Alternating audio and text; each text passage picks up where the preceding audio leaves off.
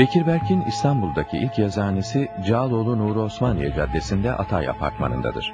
Henüz evli olmadığı için bu mütevazı dairenin arka kısmını ev, caddeye bakan ön kısmını ise yazıhane olarak kullanmaktadır.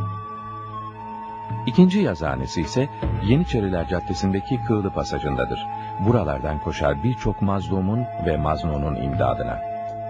Avukatlığının ilk yıllarında Peyami Safa ile Falih Rıfkı Atay arasındaki davada Peyami Safa'nın avukatlığını yapar.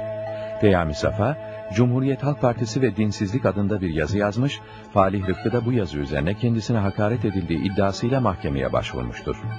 Bekir Berk mahkemede Falih Rıfkı'nın dinsizliğini bizzat kendisinin ilan ettiğini, bu sebeple ona dinsiz demenin suç olmayacağını ispat ederek Peyami Safa'nın beraatini sağlar. Askerliğini 1956 yılında Levazım Maliye Okulu'nda yedek subay olarak yapar. Askerlikten sonra evlenir. Ertuğrul Hakan isminde bir çocuğu dünyaya gelir.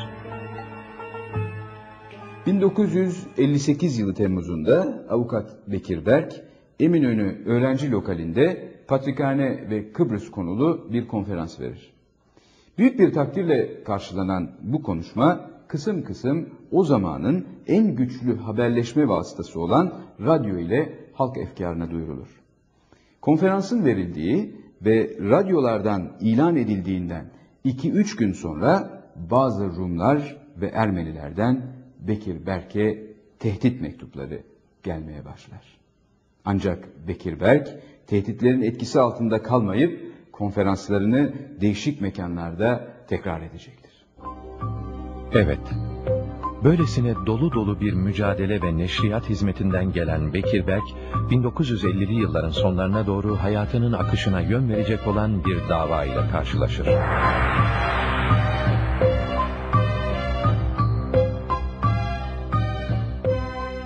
İlk defa Balıkesir'de 6. Sümen'de Sümen Muhteme'de Asteğmen olarak görev yaparken hastalığın sebebiyle yedek subaylığım şehir edilmişti. Yaparken bir caddede rastladığım bir kitap evinde, kitap evinin cam ekranında bir kitap gördüm. Bu kitap, Eşref'i Fergan merhumun Risale-ül Müellifi Said Nursi hayatı, eserleri, mesleği. Hemen aleyhte çok şeyler söylendiği için içeri girdim. Kitaptan satın aldım. Ve eve gittiğim zaman kitabı elime aldım ama ancak gece aşından sonra kitabı tamamlayınca elimden bırakabildim.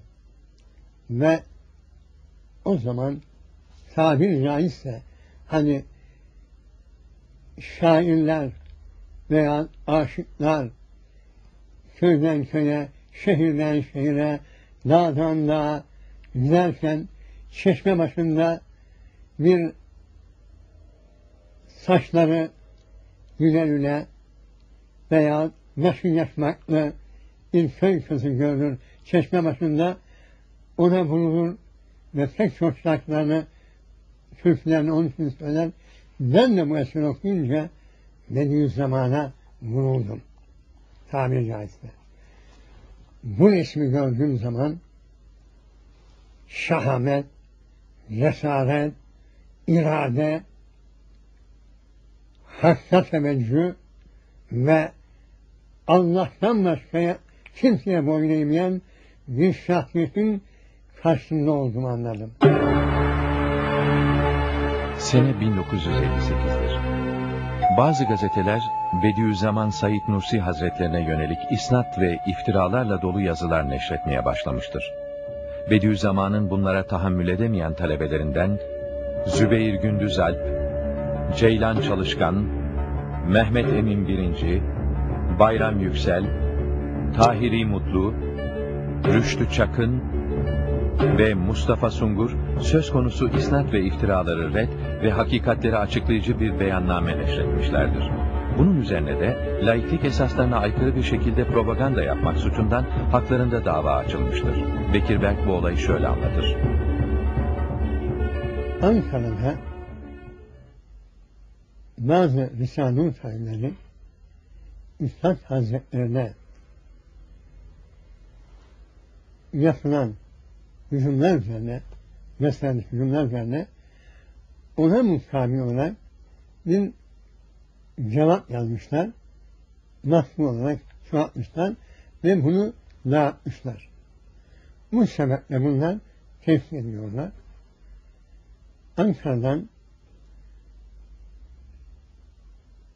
tanıştığımız merhum İsparta memusu Doktor Tahsin Sola bana telefon etti. Bekir Bey dedi, kardeşlerimizi ettiler. Acaba onların davasını alır mısın? Münafasını kabul eder misin? Yine benim tepem attı.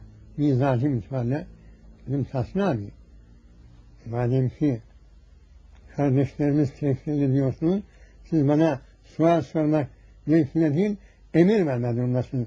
Bekir buraya gel, kardeşlerimizle görüş, davalarına gir, müdafalarını yap. Ne halinde cevap verdim ve Ankara'ya gittim.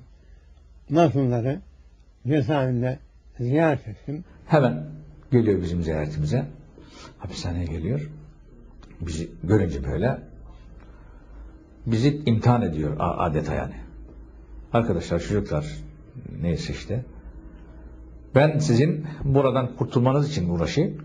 Yoksa temsil ettiğiniz davayı mı savunayım? Biz hepimiz dedik ki biz 10 sene yatmaya razıyız. Siz Risale'nin hakikatlerini müdafaa etmeye gayret ediniz. O zaman Bekir Bey'in kafası şimşekler çakmış. Görmemiş o zamana kadar. Hiçbir müvekkil görmemiş bu şekilde. Aman avukat bey beni çıkar da evimi sat. Ne yaparsan yap buradan beni çıkar. Biz ise 10 sene yatmaya razıyız. Siz Risale-i Nur'u müdafasını yapmış. Peki abi o zaman Mustafa Kırıkçı'dan ufak tefek bazı risaleler almış göndermiş ona da tam okumamış. Şimdi tabii kafasında şimşek. Çünkü Bekir abi kadar kitap okuyan kimse dünyada bulamazsınız. İstanbul'dan Ankara'ya 500 sayfa gibi kitabı okur gidinceye kadar. Uyumaz. Böyle bir şahsiyet. Bu sefer bir ay içinde külliyatı birden devrediyor. Süratli bir şekilde. Edince o zaman tabi Tahsin Bey'in evinde müdafaa yazmaya başlıyor orada. Hazretten sonra Tahsin Sultan Merhum'un evinde mazlumlar ve arkadaşlarıma okudum. Bu esnada onlar bir şey eskiden böyle uher şeyler vardı galiba. Bandı alıyorlar.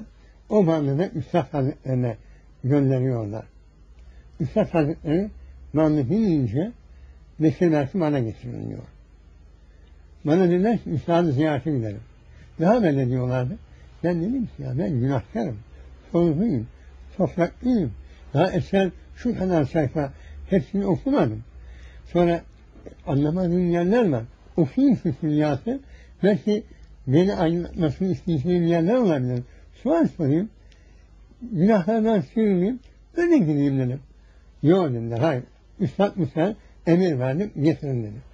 Davadan çıkınca beni arabayı attılar. Ceylan merhum kardeş mazlumlardan aynı zamanda direksiyonda sahne olmuştu. Beraat etmişti. Beni aldılar. Sungur abi vesaire. Doğrudan doğruya Ankara İsparta. İsparta'ya indik. Ve İsparta ya İsparta'nın ikamet yanına verdik. Ahşap elimine. Duvarlar dökülüyor. Bir tarafından gelen rüzgar, öbür tarafından hiç manisiz çıkıp inebiliyor. Öyle bir bina. Tahta merdivenler gücür gücür sallanıyor. Yukarıya çıktım. Aldılar beni. Üstadın bulunduğu diye girdim.